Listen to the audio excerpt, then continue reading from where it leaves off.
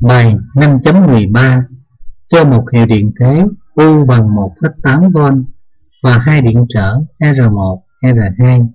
Nếu mắc nó tiếp hai điện trở này vào hiệu điện thế U thì dòng điện đi qua chúng có cường độ I1 bằng 0,2 A.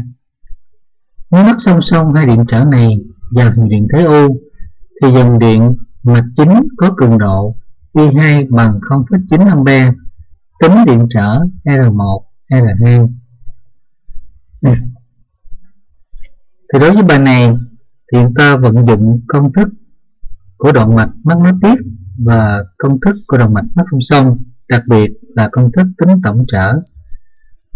Giả sử hai điện trở mắc nối tiếp thì ta tính được điện trở tương đương theo công thức bằng U chia cho I1 bởi vì I1 lúc này là cường độ dòng điện trong mạch chính kết quả được 9 ohm từ đó ta suy ra được là R1 cộng R2 bằng 9 ohm ta cho là phương trình số 1 giả sử hai điện trở này mắc song song, ta cũng tính được R tương đương.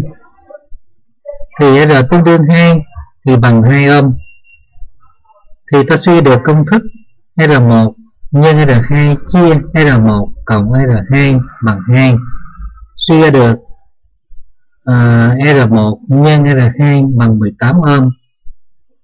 Nghĩa là ta thế từ số 1 vào số 2 thì được kết quả phương trình số 2